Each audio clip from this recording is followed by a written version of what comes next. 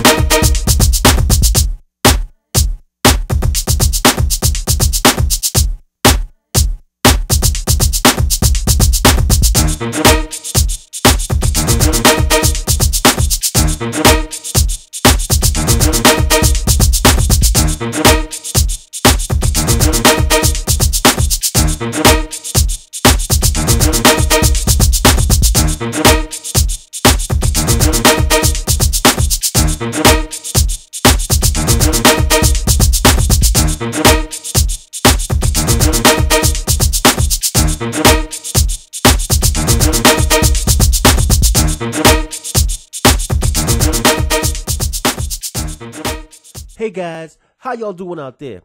Time for another tutorial from Pinnacle Studio Pro. Today we're doing a tutorial and review of New Blue Effects Video Essentials 5. Let's get into it. Now, Video Essentials 5 lets you create some fantastic effects for your videos. What it does, it helps you save a lot of time creating some effects. Some of these effects can be used or made with a Pinnacle Studio 16 on its own, but Video Essentials 5 gives you a huge time savings in creating the composites that can be done with this software plugin. This is a basic tutorial, so I'm just going to show you some of the presets and a few changes here and there. And then I'm going to talk a little bit about the effects that I did not show you during the demo. Let's jump into the background generator. So I'm going to right click on this clip that I got here and I'm going to go to Open Effects Editor.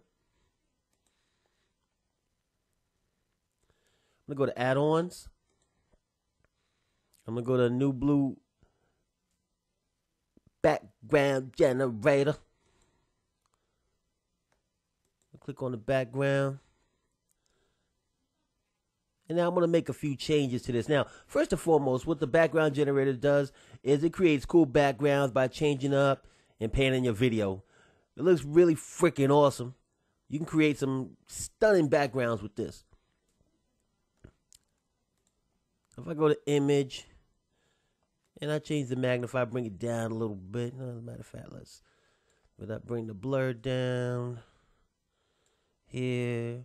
Bring the brightness down a little bit.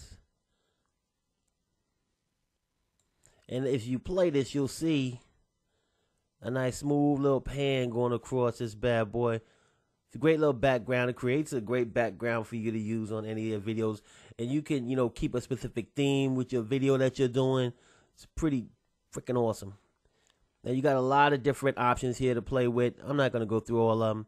You also got some presets on here. You got a uh, cascading down. You got chill. Getting chill mode, baby.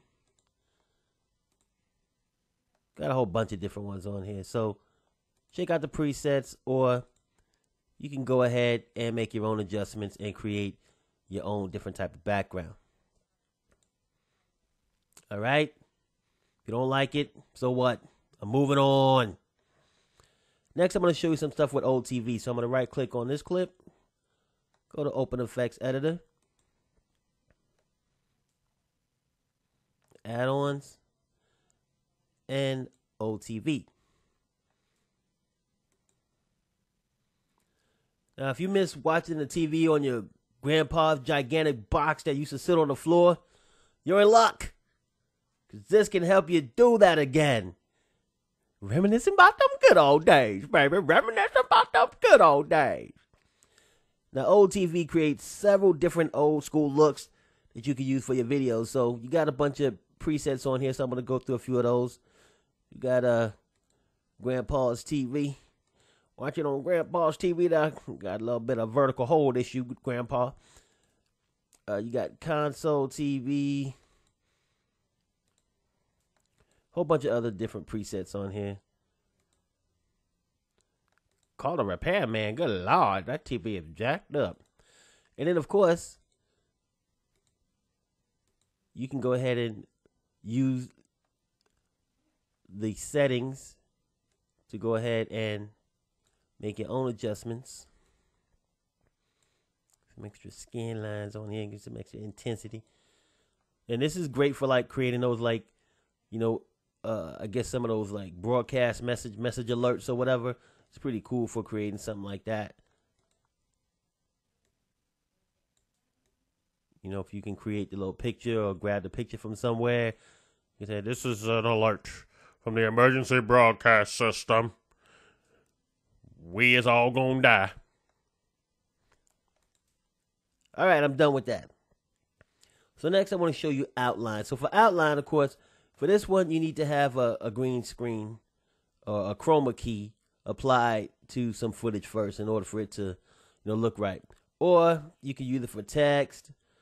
Uh, you can use it for, you know, I guess pictures that have that are transparent. You know, uh, outline stuff like that. So I'm gonna right click on this chroma key clip here. Go to Open Effects Editor. and I'm to go to add-ons and I'm to go to outline. Now, if you want to add some extra flair, some flair to your text, or you want to make your chroma key talent, you know, look like they have the glow like Bruce Leroy, any you stanky young bucks who don't know who Bruce Leroy is, you need to look it up, okay? Kung Fu Flick, baby. The default already put a nice little outline on me. Go ahead and change the width down. You know, oh Lord, look at me, I look so beautiful. I'm going to heaven, y'all. I'm going to heaven. I'm going to heaven. Okay, anyway. So you can see he's got a lot of great little, you know, adjustments on there. Then you got some presets if you want to use. That's a red glow. You got your uh Halloween boy there. You know, a lot of great little things you can use. And like I said, oh, it's a bad chroma key. You were a bad chroma key. Bad. And so anyway, you can utilize these these tools and these adjustments here to go ahead and create some great looking things with the outline effect. So I guess I'll leave uh I'm gonna leave the default on there because I like to look like I'm I'm an angel. I'm going up there with Jesus, y'all. going up there with Jesus. All right. So next is the alpha processor. So if you want to be the real alpha dog, you got to use the alpha processor. Now, this is going to really jazz up your video and give you some jazz hands, people. Jazz hands. What it does, it takes the alpha channel, your video, it can invert it, blur it, do several other things to it.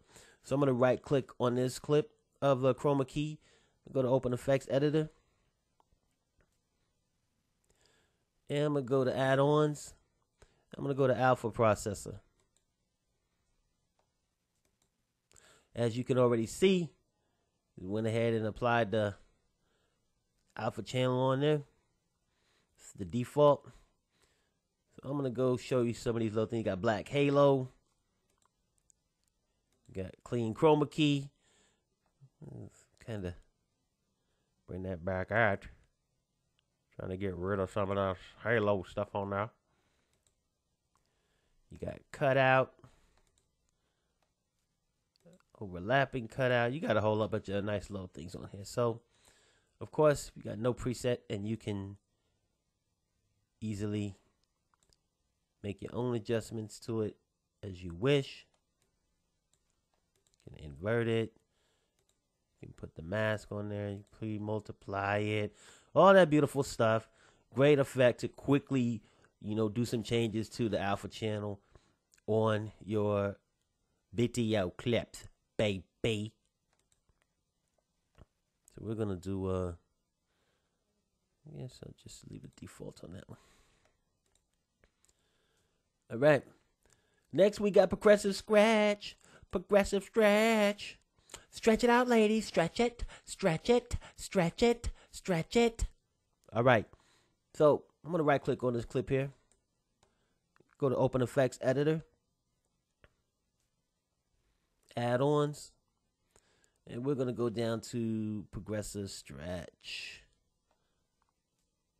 And as you can see, does something pretty damn beautiful. I'm gonna show you something real quick. What this does is it takes your 4 by 3 ratio video clips and stretches it to a 16 by 9 ratio.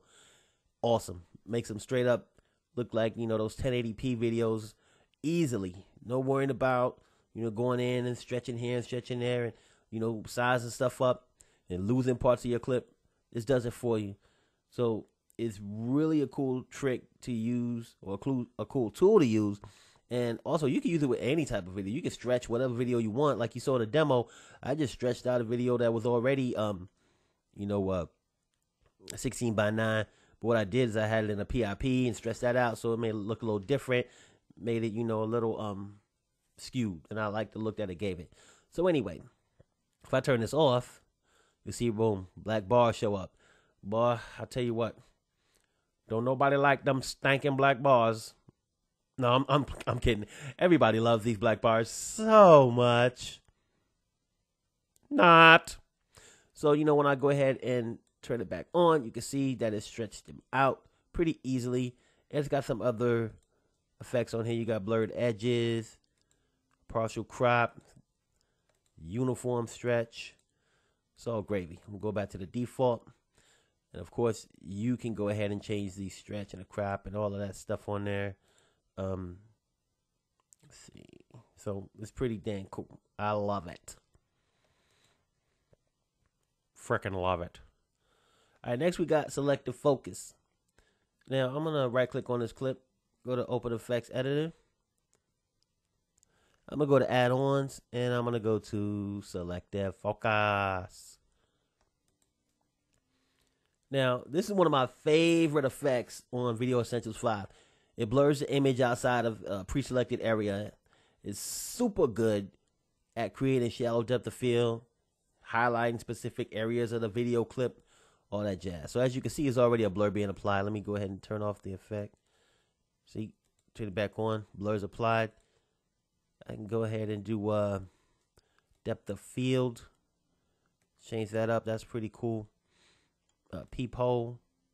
You know, this is a good one to use for like, you know, if you're doing like um tend to be looking through a site or something like that. It's pretty cool for that. A centered oval. All kind of great little presets. And of course, I can change all the elements of my shape if I wish to do so. Change the x-axis, y-axis, all that stuff to create my own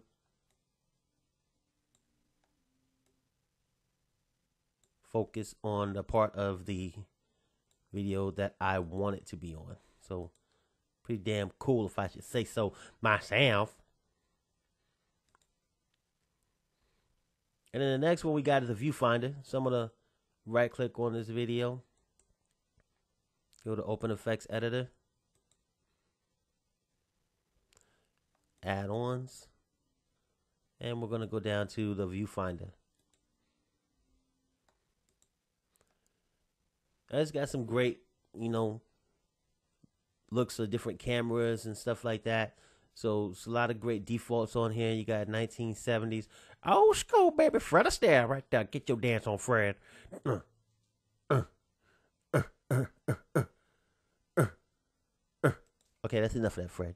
All right, so now we got like 1990s. A little bit of messed up video camera there. We got a cheap camera. You is cheap. I am moving along. Night vision. But like those night vision, you know, type deals on this stuff. You can go ahead and make your video look like it's a night vision. You know, of course, you can go ahead and change the tint of it or whatever. You think is too bright. Like that light vision, that look too bright light vision. Bring the resolution up some if you want to. All that good stuff. You can bring the counter back on if you want. Eh, leave it off. So anyway, I'm gonna leave this one here. I'm gonna click OK. So now let's talk about the three effects that I didn't show you in the demo. We got Selective Color, Selective Tint, and Color Fixer Pro. Now, unfortunately, those effects for Video Essentials 5 do not work in Avid Studio and Pinnacle Studio 16. I know that because I searched the Pinnacle Studio forum where you can get a lot of great information on technical errors and things like that, and I found the following information. Found a post that started by Tony P. Tony P is the man on the Pinnacle Studio forums, answered a lot of questions, helps a lot of people out. And as you can see here, it says that he downloaded the trial version. It installs to Avid Studio and Pinnacle Studio 15 and the several of the effects don't work in Avid Studio but work fine in Pinnacle Studio. So Tony mentions that Selective Color and Color Fixer Pro are two that don't work in Avid Studio. Uh, he didn't mention that Selective Tint doesn't work, but I can confirm that that does not work either. And then we have another confirmation from Sabi who says he just tried it and those effects don't work with his Avid Studio. And they keep talking about Avid Studio. Well, Avid Studio is Avid is uh I'm sorry, Pinnacle Studio 16 is actually Avid Studio 2.0. is built on the same platform. So it doesn't work on Avid Studio. It's probably not going to work on Pinnacle Studio 16. And it doesn't work on my Pinnacle Studio 16. And then I have the last post from Tony P, where he's been in contact with the New Blue Effects customer support. And the reply from support was I have discovered that this is a known issue. The developers have this information. Only problem is this post is from August of 2012 it is now uh, November of 2012, and either uh, the people at New Blue Effects um, are working on this and they're going to fix it soon, or um, maybe they're just not going to fix it. I cross my fingers and hope to God that they fix this so that it will work in Pinnacle Studio 16. Because if it doesn't, what you have to do to use those three effects are use Pinnacle Studio 15 or 14. The reason why I say that is because I can confirm that it works in Pinnacle Studio 14 and Tony and Sabi, con- or Tony at least confirmed that it worked in Pinnacle Studio 15. So I'm going to show you what it looks like in Pinnacle Studio 14. I'm here in Pinnacle Studio 14 Ultimate Collection. And I'm going to right click on this clip that I got in the timeline and I'm going to go to Open Effects Toolbox. I'm going to scroll down to New Blue Video Essentials. And first thing I'm going to go to is uh, selective color. I'll click OK. You can see everything's already grayed out. It's like, okay, automatically, you know, grayed out everything on the video. And if I go to just red, you see the tie stands out. Got a little bit of, you know, the flesh tones in there, but mostly everything else is grayed out. So you got that Pleasantville effect straight out the box. If I go to just blue, you see the buildings and everything, her shirt, everything else is grayed out. Well, I want to go ahead and select the color I want. So let me see if I make it like, uh, see.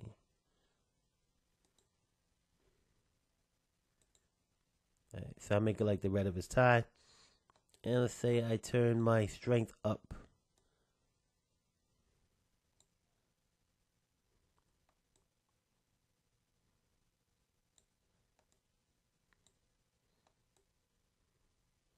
Turn my range up a little bit and you see easily we got red tie. And then I can bring it down there.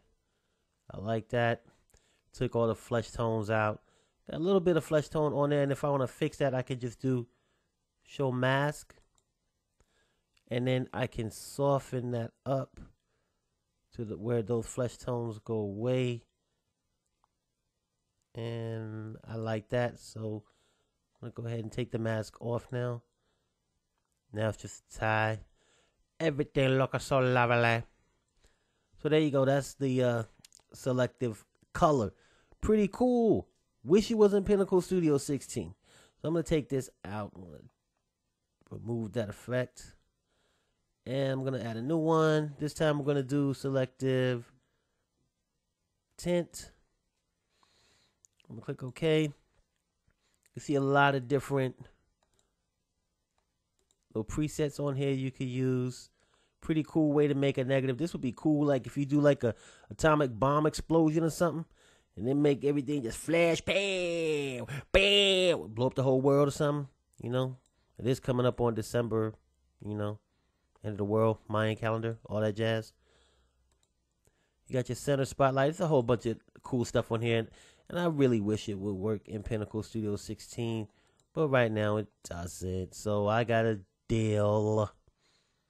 So I'm gonna delete this. And the last one is we got the uh, Color Fixer Pro. So you got some pretty cool little presets on here you can use.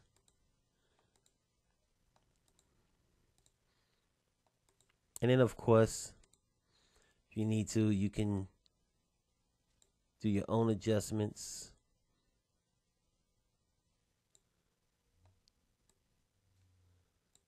on here to kind of bring some pop and flare out onto your videos. I like that, so I'm gonna leave it like it is. And that's it. All right, guys. It's a wrap. That's it. We're done here. Basic tutorial on New Blue Effects Video Essentials 5.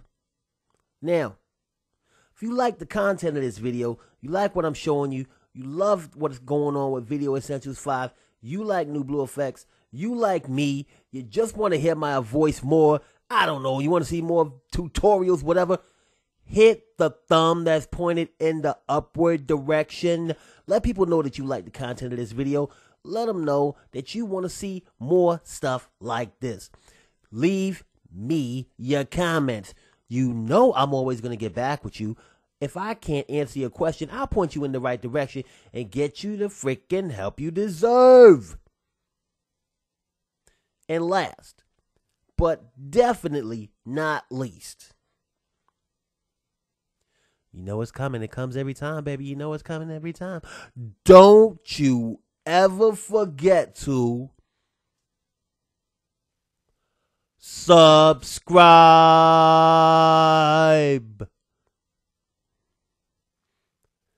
Thanks for watching. We'll see you again soon.